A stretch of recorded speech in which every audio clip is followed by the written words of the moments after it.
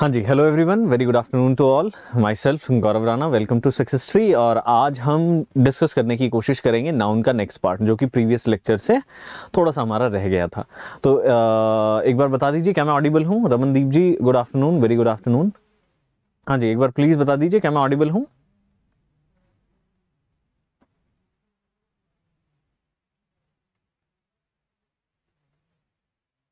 हाँ जी I think कि मैं ऑडिबल हूँ और कोई इशू नहीं आ रहा है। तो आज का जो हमारा पोर्शन रहेगा वो एग्ज़ाम ओरिएंटेड नाउन पर रहेगा। लास्ट टाइम हमने डिस्कस किया था बेसिक्स ऑफ़ नाउन जिसमें हमने समझने की कोशिश की थी कि टाइप्स ऑफ़ नाउन कौन कौन से हैं। यहाँ हम एग्ज़ाम ओरिएंटेड नाउन की बात करेंगे। देखिए एग्ज़ाम ओरिएंटेड नाउन जब मैं ये बात कह रहा हूँ तो मेरा मतलब है कि हम सीधा एग्ज़ाम स्पेसिफिक बातों को समझने की कोशिश करेंगे। ठीक है जी? अच्छा ठीक है राजेंद्र जी। आ, कुछ पढ़ा हुआ काम आया? चलिए बहुत अच्छी बात है। अगर आपको हेल्प मिली तो। नाउन पार्ट टू हम शुरू करेंगे भाई। चलिए। हाँ जी तो नाउन पार्ट टू में शुरू करने से पहले मैं आपको बता देता हूँ कि एग्ज़ाम स्पेसिफिक नाउन को हम दो तरीके से डिवाइड करते हैं। ठीक है? और वो दो तरीके क्या हैं और दो टाइप क्या हैं? एक आपके लिए है काउंटेबल नाउन ठीक है? और दूसरा है आपके पास अनकाउंटेबल नाउन जब हम इनकी बात करते हैं, ठीक है काउंटेबल और अनकाउंटेबल की तो हम एग्ज़ाम स्पेसिफिक स्पेसिफिक पॉइंट से हम इन दोनों चीज़ों को, ठीक है यूज़ करते हैं। अब काउंटेबल नाउन्स क्या है? Basically those nouns which can be measured in the form of numbers या फिर आप उन्हें काउंट कर सके in the form of one two three ठीक है, उन्हें हम क्या बोलते हैं? काउंटेबल अनकाउंटेबल वो चीज़ें जो आप काउंट नहीं कर सकते। ठीक है काउंट नहीं कर सकते। नहीं, प्रियंका कुमारी जी, ऐसा नहीं होता है। हाँ जी। कोई बात नहीं। राजेंद्र जी। तो काउंटेबल और अनकाउंटेबल की बात कर रहे थे। काउंटेबल जैसे स्टूडेंट्स ठीक है स्टूडेंट्स क्या है? काउंटेबल है। अब ये काउंटेबल क्यों है? क्योंकि आप इन्हें काउंट कर सकते हैं। One two three four five ठीक है, जबकि अनकाउंटेबल क्या हो गया? हमारे लिए मिल्क ठीक है, इसे आप काउंट नहीं कर सकते। इसे आप सिर्फ़ क्या कर सकते हैं? मेजर कर सकते हैं। ठीक है तो हमारे पास इस टाइप के दो नाउन हैं जिन्हें हम समझने की कोशिश करेंगे आगे। ठीक है जी?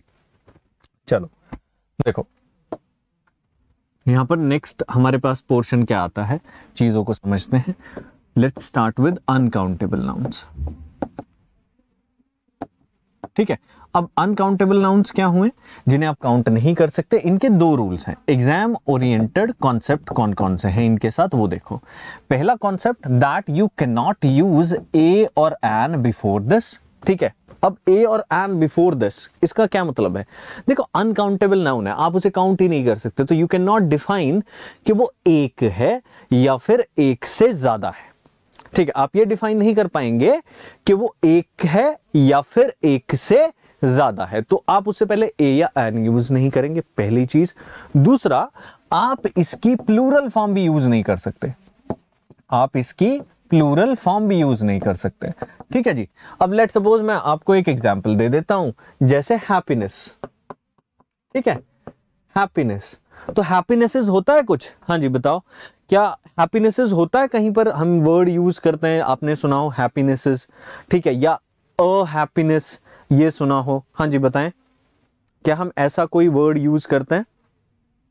राजेंद्र कह रहे हैं नो ठीक है, क्या और किसी ने सुना है तो बता सकते हैं आप, अगर आपको लगता है कि आपने कहीं पर पढ़ा है, ठीक है?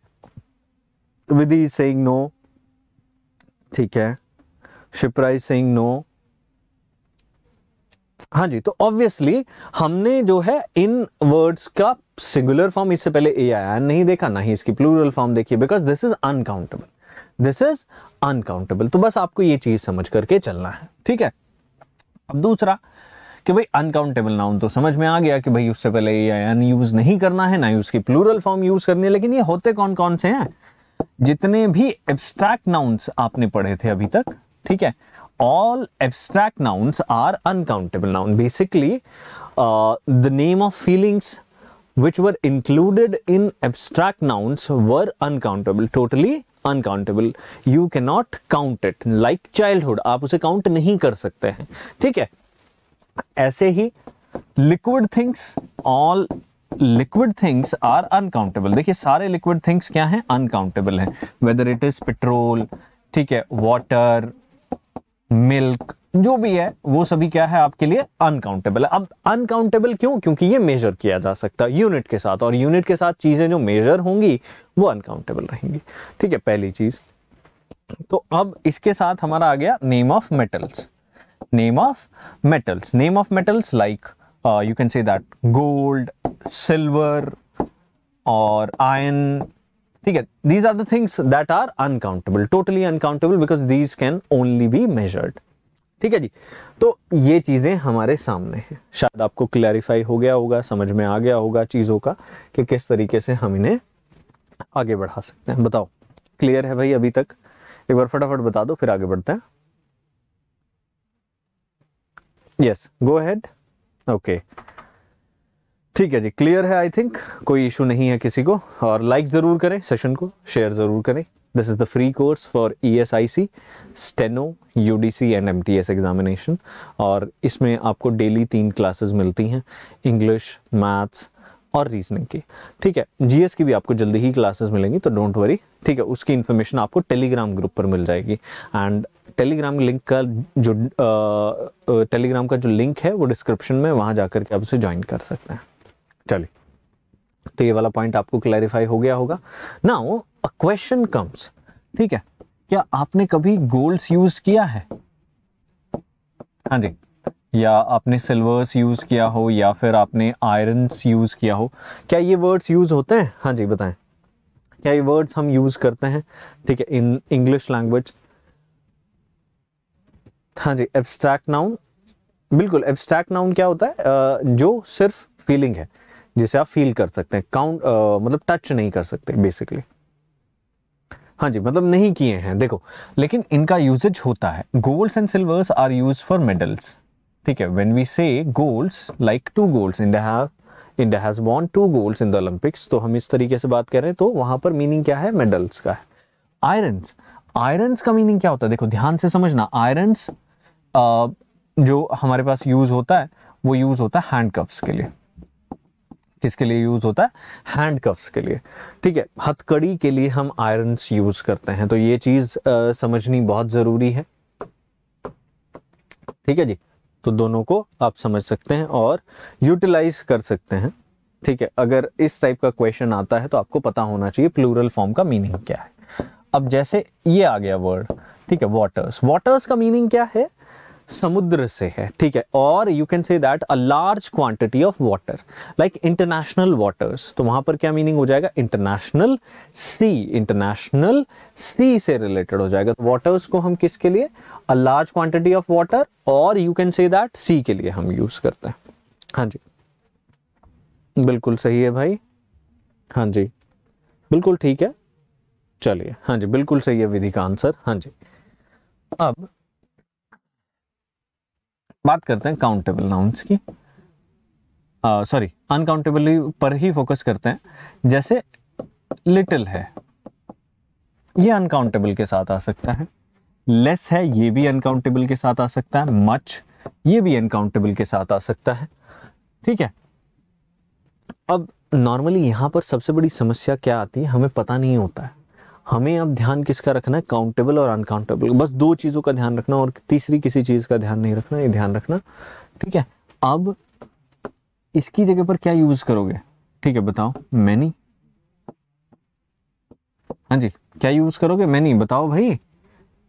फ्यू ठीक है? मच की जगह पर मैनी आ गया। फ्यू ठीक है, ये आ गया हमारे पास।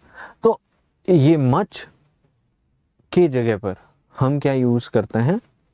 मैनी यूज़ करते हैं in terms of countable in terms of countable nouns तो ये दो इनके लिए आएँगे मैनी और फ्यू जबकि ये जो वर्ड्स हैं, ये किसके लिए आएँगे? अनकाउंटेबल के लिए किसके लिए आएँगे? अनकाउंटेबल के लिए आएँगे. ठीक है? अब जैसे एक वर्ड बहुत बार यूज़ होता है, पता नहीं आपने पढ़ा है या नहीं पढ़ा. Score of what is the meaning of this can you please tell me हाँ जी, क्या मीनिंग होता है? स्कोर ऑफ़ का? जब हम किसी सेंटेंस में स्कोर ऑफ़ यूज़ करते हैं तो क्या मीनिंग होता है? बताएँ, फटाफट देखता हूँ कौन आंसर करता है।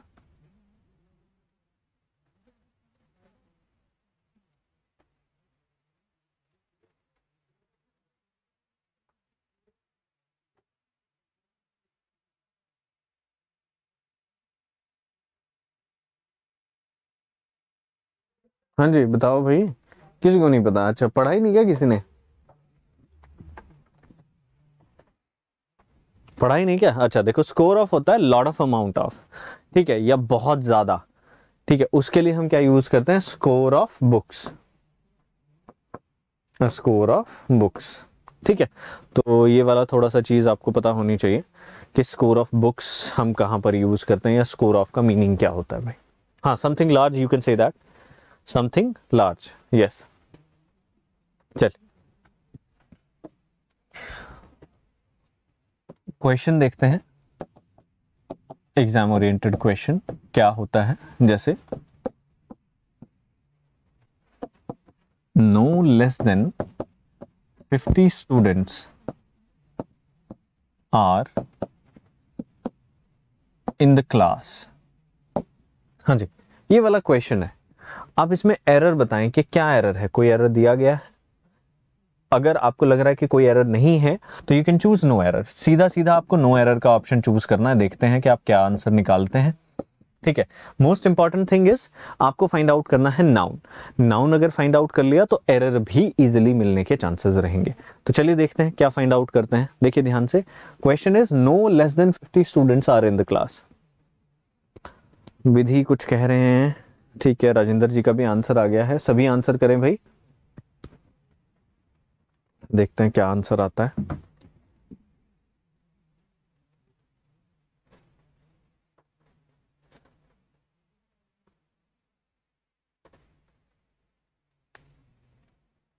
बिकॉज़ ओके शिप्रा सिन्हा का भी आंसर आ गया। देखिए सेंटेंस में जो हमारे पास नाउन है दैट इज़ काउंटेबल 50 स्टूडेंट्स ये स्टूडेंट जो है काउंटेबल है। ठीक है ना? अब ये काउंटेबल हो गया। तो काउंटेबल के अकॉर्डिंग अगर आप देखें तो पहला यहाँ पर एरर है less less can not be use with countable nouns ठीक है तो आप लेस को रिमूव करेंगे। दूसरा, कई बार ऐसा लगने लगता है स्टूडेंट्स को कि नो लेस देन ये स्टार्टिंग में जो टर्म आ गई है, यही इनकरेक्ट है। तो ऐसा नहीं है।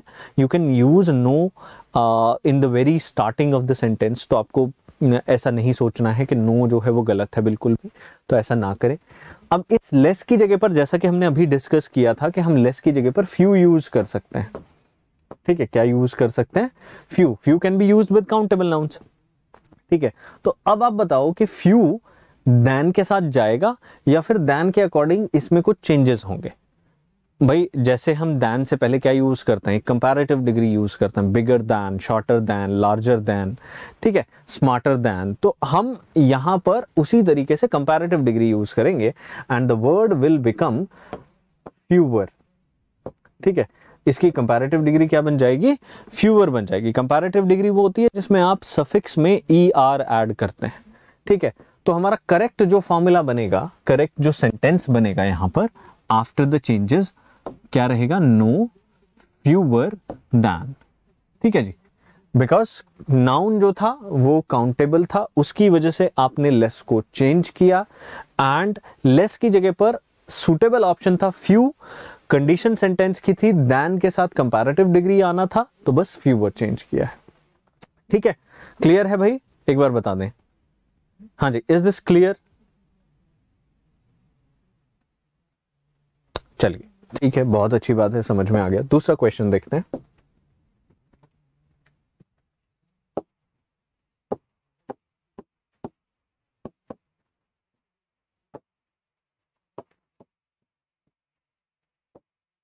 बहुत ध्यान से समझिएगा सेंटेंस को। हाँ जी। देखना है और बताना है कि क्या कोई एरर दिया गया है यहाँ पर? हाँ जी। हाँ जी, देखिए, इस टाइप का क्वेश्चन ना आपके जो एसएससी का सीएचएसएल का एग्ज़ाम है, चाहे वो सीजीएल का एग्ज़ाम है, या फिर उसी लेवल के और एग्ज़ाम भी हैं, उन सब में इस टाइप का क्वेश्चन जो है वो पूछ लिया जाता है। सेम कॉन्सेप्ट पर बेस्ड हाँ जी। देखें ये एक ऐसा सिंटेक्स का फॉर्म है कि मतलब जनरली लोग इसमें कंफ्यूज हो ही जाते हैं।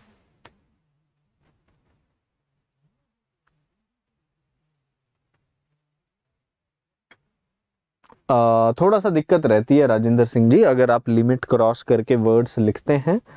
हाँ जी थोड़ी सी दिक्कत रहती है हमेशा।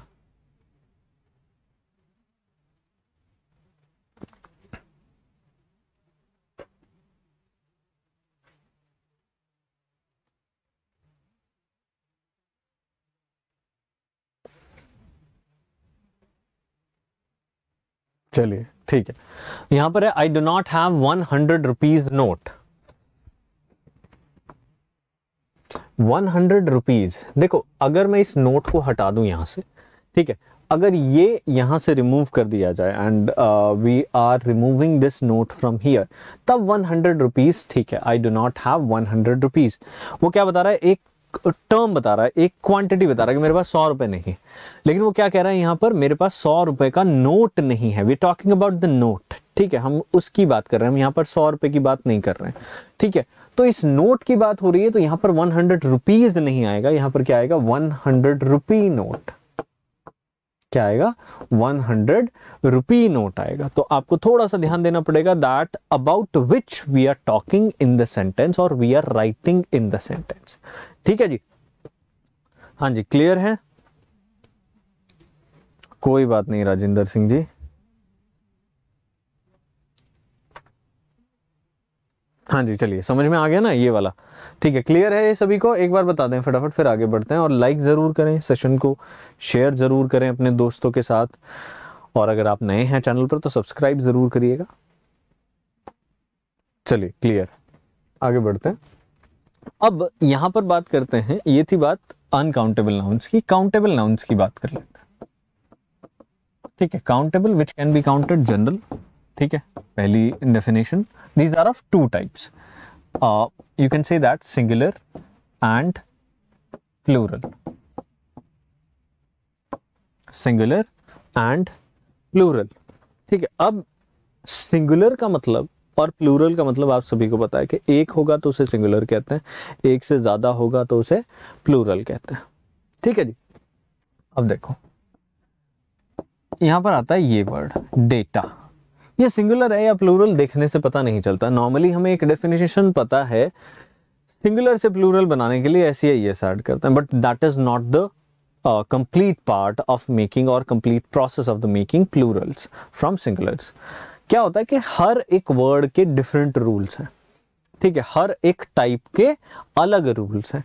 जैसे डेटा डेटा जो है दैट इज़ प्लूरल ठीक है, ये क्या है? प्लूरल है। इसकी सिंगुलर फॉर्म क्या होती है? डेटम क्या होती है?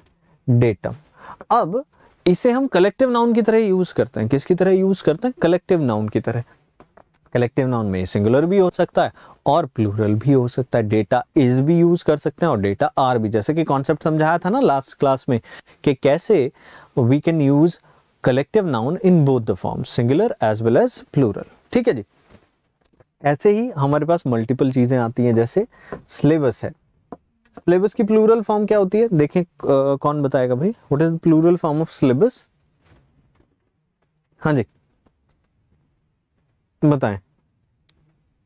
देखते हैं कौन आंसर करता है भाई। हाँ जी, सिलेबस की प्लूरल फॉर्म बतानी है। राजेंद्र सिंह का आंसर आया है।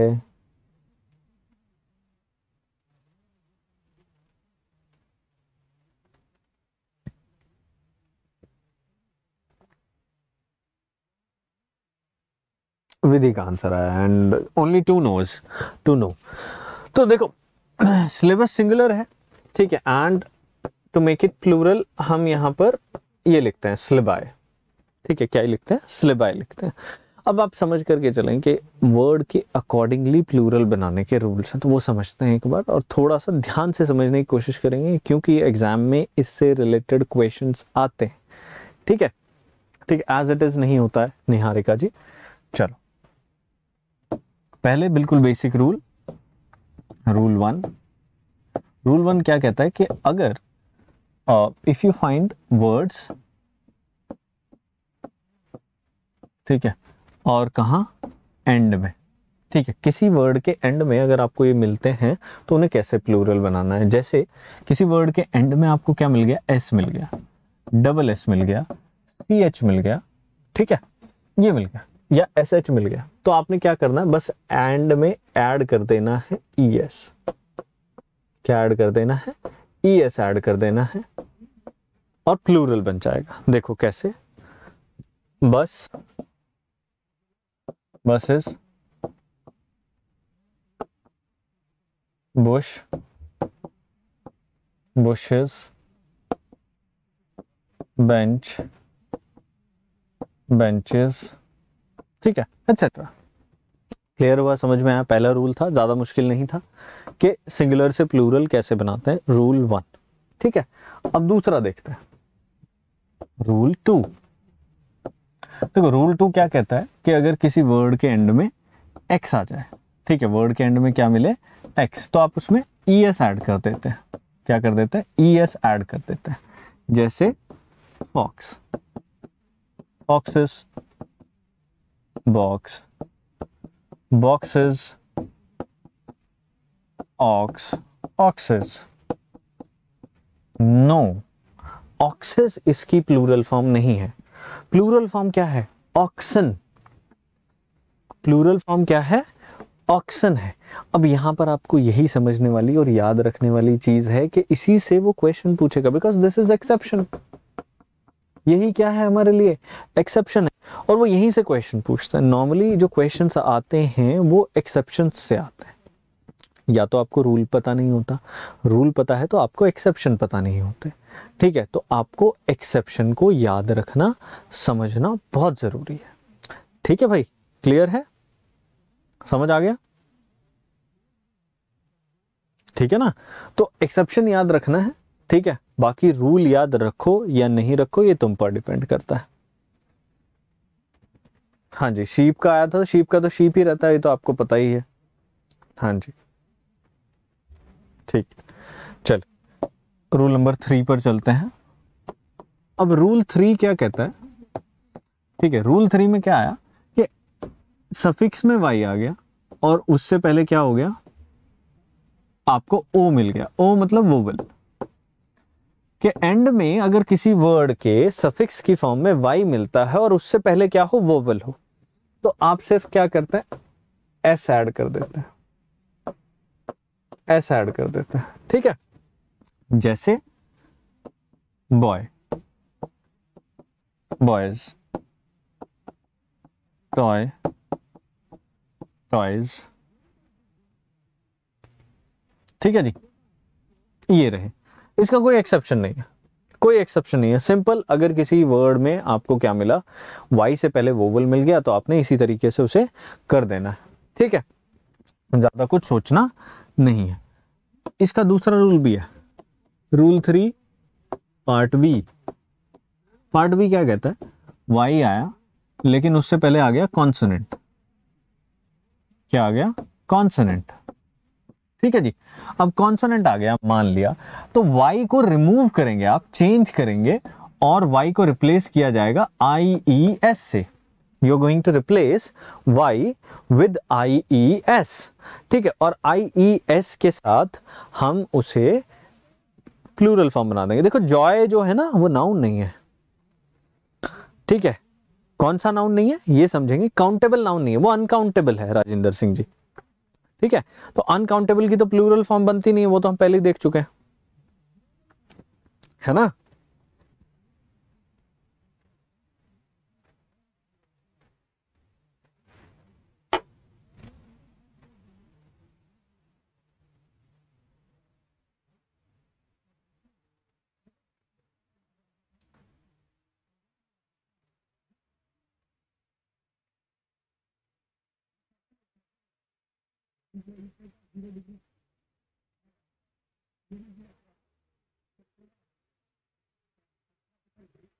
चलिए। ठीक है। कोई बात नहीं राजकिशोर जी। ठीक अब क्वेश्चन देखते हैं जैसे क्राई क्राई को आप क्या करोगे? क्राइज ट्राई ट्राइज देखो ये नाउन और वर्ब की फॉर्म में यूज़ किए जा सकते हैं तो आप आ, मतलब कंफ्यूज मत हो जाना इसमें। चेरी मीन्स चेरीज ठीक है? तो आप ध्यान रखें कि हमारे पास तीन वर्ड्स थे। हमने तीनों में वाई को चेंज किसमें किया है? आई ई एस में चेंज किया और देखा कि वाई से पहले हमारे पास क्या आ रहा है? कॉन्सनेंट आ रहा है। ठीक है तो ये दो चीज़ हमने आ, समझ ली और समझने की कोशिश की। अपार्ट फ्रॉम दैट अगर हम यहाँ से आगे बढ़े जैसे आता है वर्ड पोएट्री ठीक है वाई से पहले ये है। तो इसकी प्लूरल फॉर्म क्या होगी बताएँगे? हाँ जी। रूल नंबर थ्री था निहारिका जी, जिसमें हम वाई से पहले वोवल देखते थे और वोवल देखने के बाद एस आड करके उसे प्लूरल बना देते थे। हाँ जी।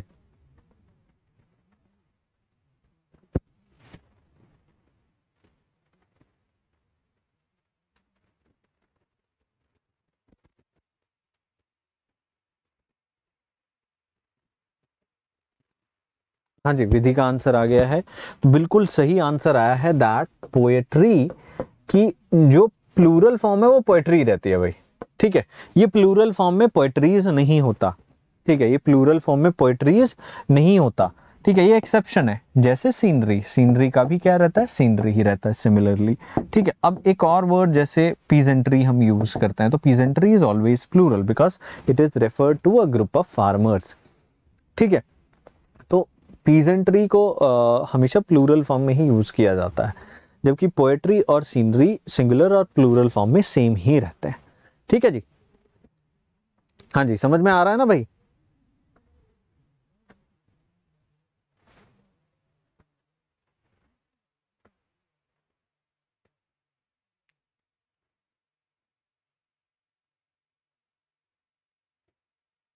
चलिए। ठीक है बहुत अच्छी बात है भाई। सारी चीज़ें क्लियर हो रही हैं आपको। नेक्स्ट रूल पर चलते हैं। नेक्स्ट रूल क्या कहता है? Rule number four rule number four क्या कह रहा है? कि अगर किसी वर्ड के एंड में आपको एफ़ और एफ़ ई e मिला तो कन्वर्ट कर दें वी ई एस में। कन्वर्ट किसमें कर दें? वी ई एस में कन्वर्ट कर दें प्लूरल बनाने के लिए। अब जैसे यहाँ पर क्वेश्चन क्या आता है? नॉर्मली नाइफ नाइफ की प्लूरल फॉर्म क्या होगी? नाइव्स ठीक है थीफ थीफ की प्लूरल फॉर्म क्या होगी? थीव्स वाइफ वाइव्स ठीक है जी। बट यहाँ पर भी एक्सेप्शन होता है। देखो, वही याद रखने हैं। चीफ की प्लूरल फॉर्म एफ़ एस होता है। इसमें आप चेंज नहीं करते हैं। इसमें आप चेंज नहीं करते हैं। ठीक है, अगर चेंज करोगे तो वो गलत होगा। Same in the form of handkerchief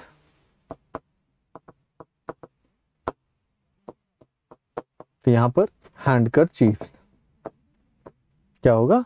hand कर चीफ्स होगा। ठीक है, अब यहाँ पर एक और वर्ड आता है जो हमेशा कंफ्यूजन में डालता है, जैसे मिस चीफ ठीक है ना? इसकी कंफ्यूजन हमेशा रहती है, ये सेम ही रहता है। सिंगुलर और प्लूरल फॉर्म में ये सेम ही रहता है। ठीक है जी?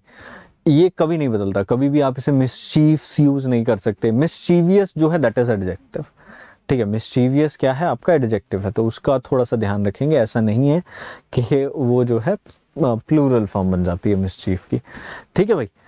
तो I guess this is clear rule number four is clear rule number five पर चलते हैं। And do like it share it subscribe and if you are not on the Telegram group link is in the description हाँ जी। तो rule number five rule number five है if you find O in the suffix of any word add E S to make plural to make plural आपको क्या add करना है? E S add करना ठीक है, जैसे मैंगो मैंगोज ठीक है पोटैटो सिंपल है, बहुत एग्जांपल्स ना potatoes there are exceptions as well ठीक है एक्सेप्शन क्या है? देखो एक्सेप्शन क्या कह रहे हैं? कि फ़ोटो आ गया। एंड वी गेट कंफ्यूज और हम यहाँ पर ई एस एड कर देते हैं। वीडियो में भी कंफ्यूज हो जाता है। ठीक है वीडियोस ठीक है जी डुओ डुओज ठीक है तो ये देख लीजिए। हाँ जी रूफ्स बनेगा भाई। हाँ जी, Manjinder Singh ji R double O F S हाँ जी रूफ्स बनेगा।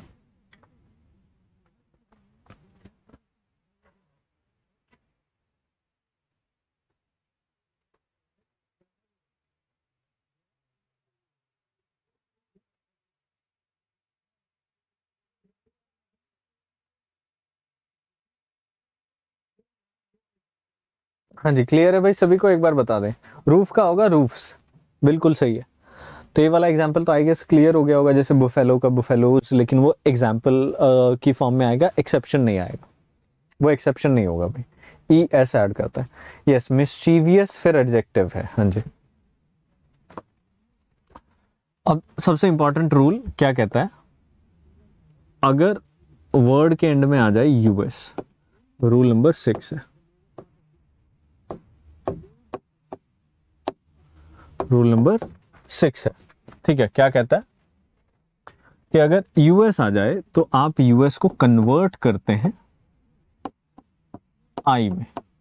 ठीक है टू मेक इट प्लूरल जैसे syllabus syllabi cactus cacti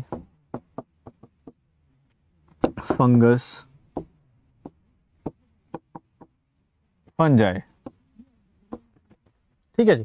तो ये क्या है, हमारे रूल के रूल को फॉलो करने वाले वर्ड्स हैं। अब एक्सेप्शन देखते हैं। जैसे ऑक्टोपस है।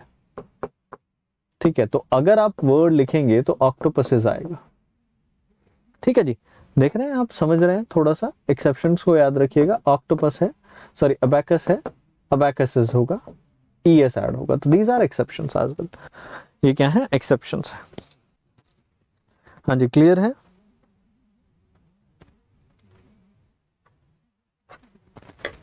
कोई डाउट तो नहीं है? बता दो भाई।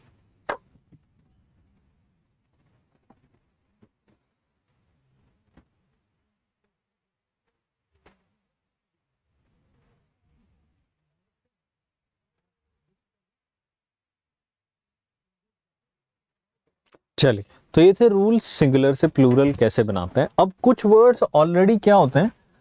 प्लूरल होते हैं। सेम रहते हैं सॉरी सेम रहते हैं सिंगुलर और plural form same words words which remain same in singular and plural form वो कौन कौन से वर्ड्स हैं? ठीक है, बताएगा कोई? बताते रहो अगर आपको याद है।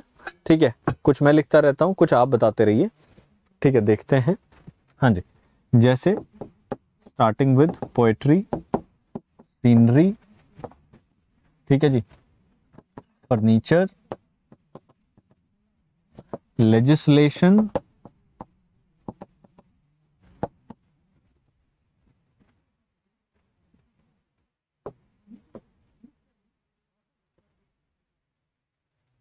बताओ भाई। अरे भाई, कोई वर्ड ही नहीं बता रहा है। बिल्कुल सही है। इंफॉर्मेशन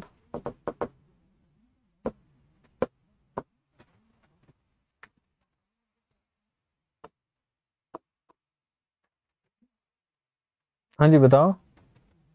अरे भाई बता नहीं रहे। शीप डियर, बाइसन, ठीक है जी, फ़िश, हेयर, इक्विपमेंट, इक्विपमेंट्स नहीं होता, याद रखेंगे, ठीक है जी? भूलेंगे नहीं। बताओ, और बताओ, कुछ लग रहा है तो? हाँ जी, बताइए। देखें अच्छा बैचलरेट भी आ गया पार्लियामेंट भी आ गया। पार्लियामेंट्स तो होता है ना?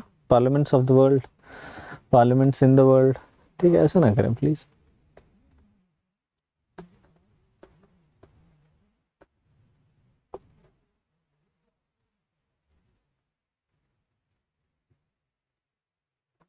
हाँ जी क्लियर है भाई? समझ आ गया सभी को? सिजर नहीं सिजर्स तो होता ही है ना? सिजर तो यूज़ ही नहीं करते सिजर्स यूज़ करते हैं। हाँ जी। These are some words which remain same भाई ठीक है? अब कुछ ऐसे वर्ड्स हैं जो हमेशा प्लूरल ही यूज़ होते हैं। ठीक है? Those words which remain always in plural form अब प्लूरल फॉर्म में कैसे? देखो, वो समझो। जैसे scissors ट्राउजर्स ठीक है जी सिजर्स हो गया ट्राउजर्स हो गया पैंट्स स्लीव्स ठीक है, और कुछ बताओ? बाइनोकुलर्स अगर आपको भी याद है तो आप भी बता सकते हैं, ऐसा कुछ नहीं है।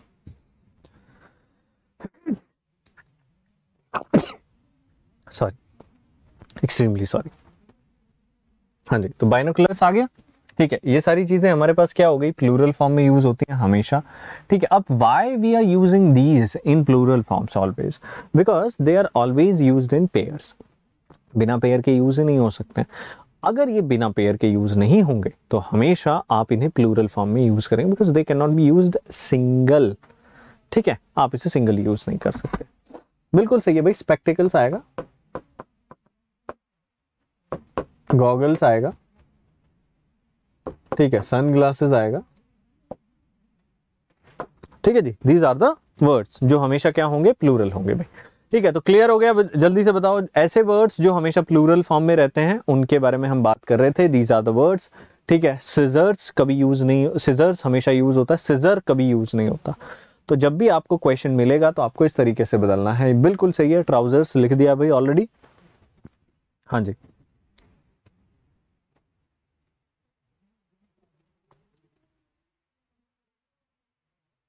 बिल्कुल ठीक है भाई।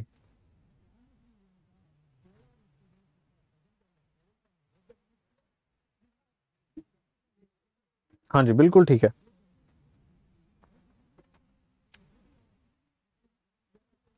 चलिए, अब बताएँ मुझे क्लियर है सारी चीज़ें?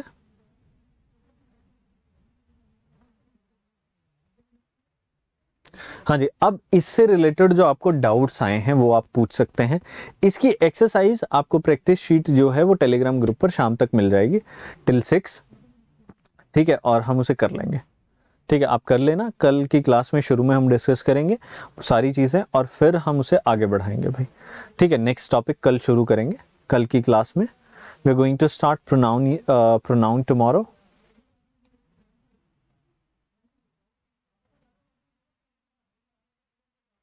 हाँ जी, बताइए।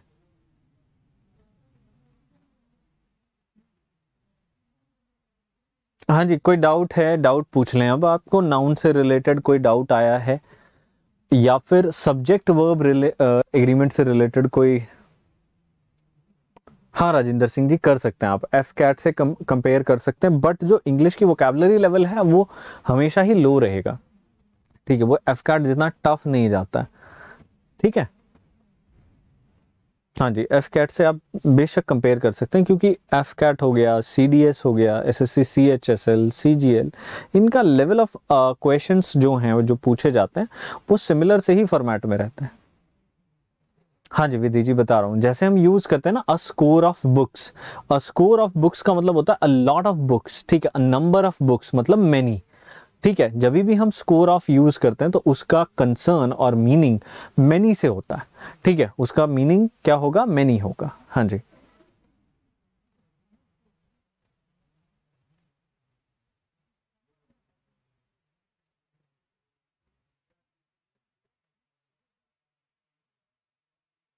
हाँ जी क्लियर है भाई सभी को?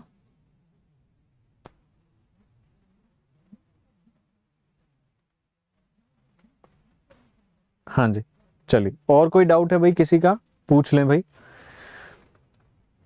कोई किसी का कोई डाउट है तो पूछ लें ज़रूर और लेक्चर को लाइक ज़रूर करें शेयर ज़रूर करें अपने दोस्तों के साथ।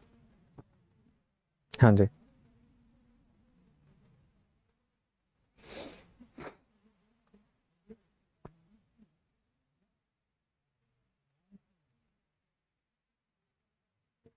चलिए आई डोंट थिंक सो कि कोई और डाउट है भाई।